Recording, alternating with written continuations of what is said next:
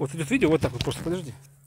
Добрый день, здравствуйте, уважаемые блогеры. Сегодня вторник, 15 уже а, июля. И я вот в Перми, в селе Троица, это 20 30 километров от Перми, в доме музея э, писателя-футуриста, ну, такого крупного общественного деятеля Перми Каменских.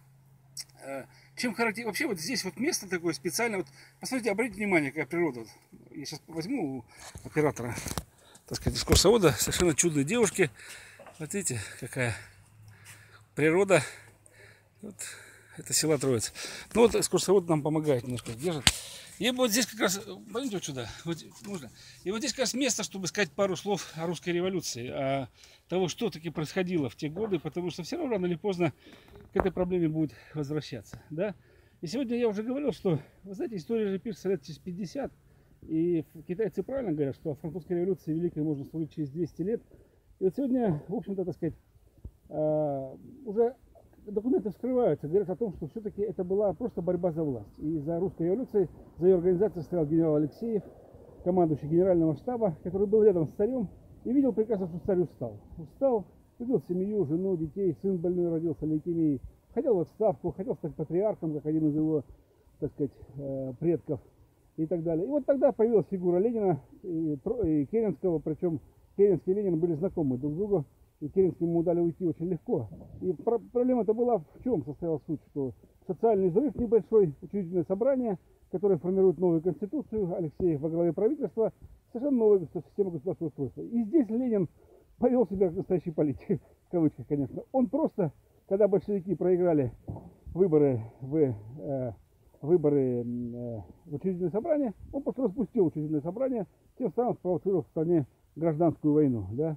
так сказать, даже те левые эсеры Спиридоновой, кто был с ним рядом, даже они были возмущены политикой под разлеткой, которую он проводил и так далее. Причем я вам хочу сказать, что о том, что революция готовилась, и готовилась не, не большевиками, очевидно. Почему?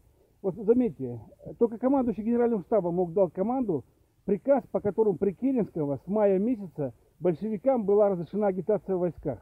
То есть избирали командиров. Это только мог дать команду разрешение дать только начальник генерального штаба, что он и сделал. То есть большевики, по сути, сагитировали армию. Как только они сагитировали, как только приказы командиров дублировали комиссары, все, Ленин проиграл учредительное собрание, распустил учредительное собрание и так далее. Почему? Это невольно проводит э, аналогии с, э, с августом 17 с августом 91 -го. Там тоже был государственный переворот, там тоже была политическая игрище, в которую также была втянута вся страна и так далее.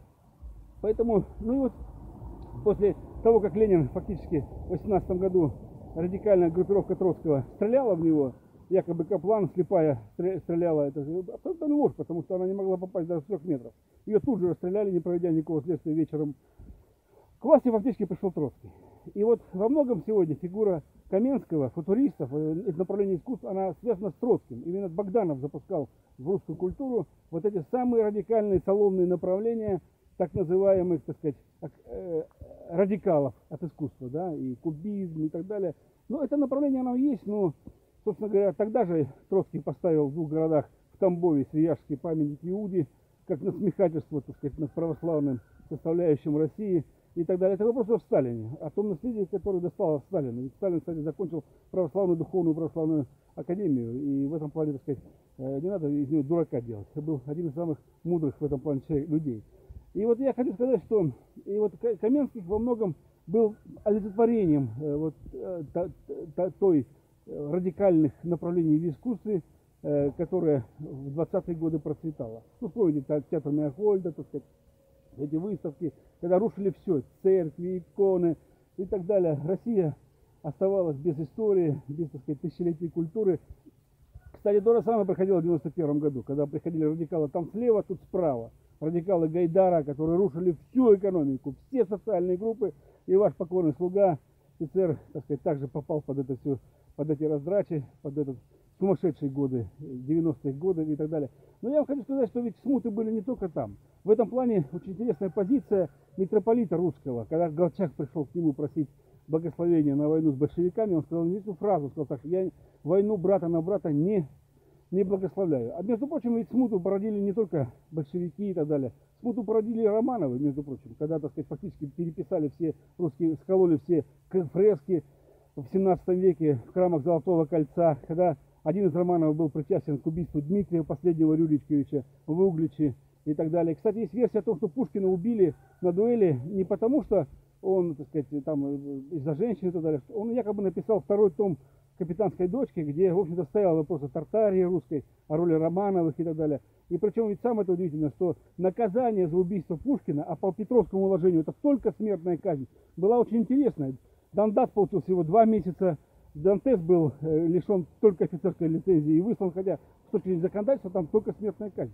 Поэтому ответы сами себя говорят, что было спланировано убийство Пушкина именно за эту его тайну. Поэтому в нашей истории очень много тайн, очень много сложных периодов, сложных вопросов и так далее. Тема она интересна, тема она, так сказать, привлекательна. Русская история трагична. Но вот мы тоже пережили период разрушения. Разрушения той красной могучей Советской империи, в которой были социальные группы, армия, полиция. И в этом плане Каменский, конечно, очень интересен. Но говорят, у него была очень страшная смерть. Вот здесь вот справа от меня, вот сюда, находилась церковь сегодня. И он, говорят, она закрывала ему э, вет еще раз на меня. Она, говорят, закрывала ему вид на, на, на сылу, и где-то он приказал ее снести, и очень в этой связи очень страшно умирал. Говорят, у него были паралич ног там, и так далее. То есть, ну, не знаю, это совпадение, не совпадение, но тем не менее. Ну, вот это вот наша история. Она не плохая, не хорошая, она вот такая. И гражданские войны, будь то в 17 году или в 91-м, это гражданские войны. Это самое страшное, что было могла пережить страна, когда рушилось все абсолютно, ее культура, ее социальные группы, ее устои, страдали люди. Ну вот мы, так сказать, в этом селе, и вот этом, об этом я хотел сказать здесь, в музее Каменских, интересного художника, ну интересного человека. Спасибо, ваш Бессонов Алексей